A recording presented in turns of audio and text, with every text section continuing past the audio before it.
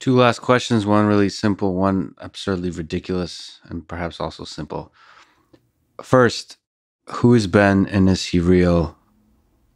I don't even know what you're talking about. Very well. How's that for an answer? It's like asking me, is Harvey the White Rabbit real? I don't know. There's carrots all around the production room, but I don't know what that means. Well, a lot of people demanded that I prove, I somehow figure out a way to prove the existence. If I said he was real, people would say, no, he's not. And if I said he was, if, if he wasn't real, they would say, yes, he is. So it's a Santa Claus, Easter Bunny kind of vibe there. yeah. I mean, what is real anyway? That's exactly what I told him if it exists. okay, the most absurd question. I'm very sorry, very sorry, but then again, I'm not. What what what's the meaning of it all? You you study history of human history. Have you been able to make sense of why the hell we're here on this spinning rock? What, what does any of it even make sense? What's the meaning of life? Hmm. What I look at sometimes that I find interesting is certain consistencies that we have over time.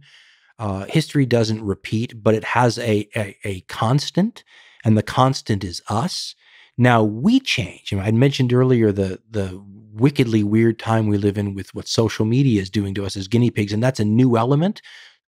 But we're still people who are motivated by love, hate, greed, envy, sex. I mean, all these things that would have connected us with the ancients, right? Mhm.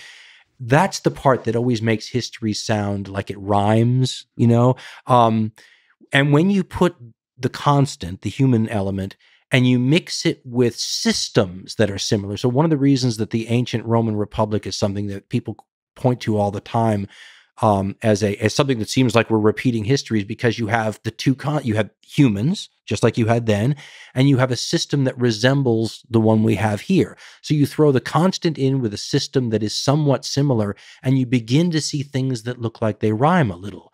Um, so for me, I'm always trying to figure out more about us. And when you show us in uh, 500 years ago in Asia, and 800 years ago in Africa. And you look at all these different places that you put the guinea pig in, and you watch how the guinea pig responds to the different stimuli and challenges. I feel like it helps me flesh out a little bit more who we are in the long timeline, not who we are today specifically, but who we've always been. Um, it's a personal quest. It's not meant to educate anybody else. It's it's something that fascinates me. Do you think there's uh, in that common humanity throughout history the, of the guinea pig? Is there a why underneath it all, or is it somehow like it feels like it's an experiment of some sort? Oh, now you're into Elon Musk and I talked about this, the simulation thing, right? Nick Bostrom's Sure. yeah, the idea that there's some some kid and we're the equivalent of an alien's ant farm, you know, uh, Yeah. and uh, we hope he doesn't throw a tarantula in just to see what happens. Um, I think the whys elude us. And I think that what makes philosophy and religion and those sorts of things so interesting is that they grapple with the whys. Um, but I'm not wise enough to to uh, propose a theory myself. But I'm interested enough to read all the other ones out there. So um, I, let's put it this way: I don't think there's any definitive why that's been agreed upon, but the various theories are fascinating. Yeah, whatever it is, whoever the kid is that created this thing, the the ant farm is kind of interesting.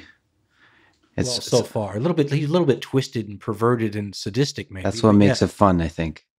Um, but then again, that's the Russian perspective. I Uh, was just gonna say, this sound, it, it is the Russian perspective. uh, a little bit That's what makes the Russian so Russian history. One day I'll do some Russian history. I took it in should. college. Oh, that's the ant farm, baby. That, that's an ant farm with a very, very frustrated young uh, uh, uh, teenage alien kid. Dan, I can't say I've already complimented you way too much. I'm a huge Good fan. This has been an incredible conversation. It's a huge gift. I your your gift of humanity. I hope you. Oh, let me cut you off and just say you've done a wonderful job. This has been fun for me.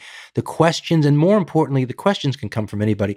The counter statements, your responses have been wonderful. You made this a very fun intellectual discussion for me. Thank you. Well, let me have the last word and say I agree with Elon, and despite the Doomcaster say that I think we've concluded definitively, and you don't get a chance to respond that love is in fact the answer and the way forward.